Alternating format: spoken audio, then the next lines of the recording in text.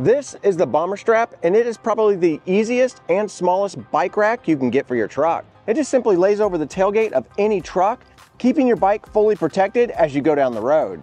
Now the first thing you want to do is figure out what side of your bed you want to have this on and then just simply lay it down and line it up. And then you're going to wrap this strap underneath your tailgate and back through. Now this next step is definitely the trickiest part of this entire process and honestly it's pretty easy. What you wanna do is grab the bottom strap and this upper strap, open up this buckle, and then you have two little options here to thread this through. You're gonna use the first one and you're gonna go through the top with the strap. Now, once you've threaded that through there, take up some of the slack. You wanna take the strap and you wanna go up the very, very back end of this buckle.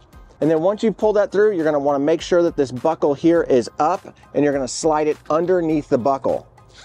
Pull that tight and then you can simply just start pulling down on this until you get your bomber strap nice and tight. One of my favorite parts of the bomber strap is the Fidlock system.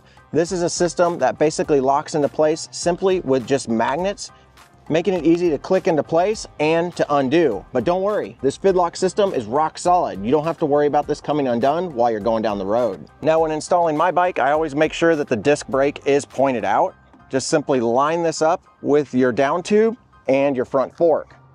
It'll sit just like this. Now we can take the Fidlock system and lock it into place.